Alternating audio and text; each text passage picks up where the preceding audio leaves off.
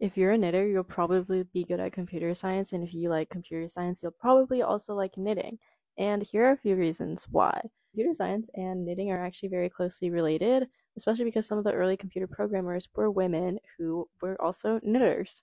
An algorithm in computer science is a sequence of instructions used to solve a problem, which is exactly what a knitting pattern is, except for the problem is the garment you're making.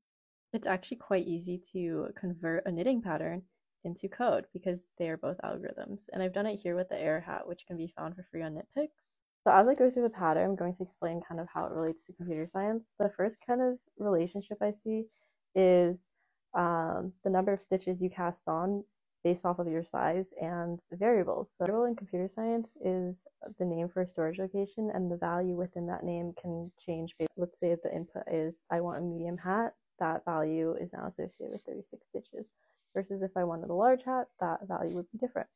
The next instruction says to work a one by one rib for four rounds. And whenever you see the word for in computer science, you think for loop because it tells you to work a certain set of instructions for a certain number of times, uh, which is exactly what this is.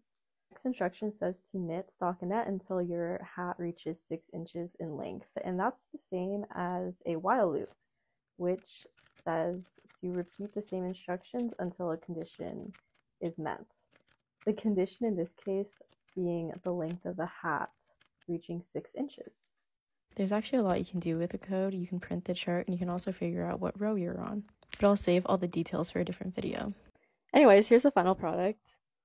I hope that this inspired you to either one, get into knitting if you like computer science, or start learning how to code if you like knitting. Bye!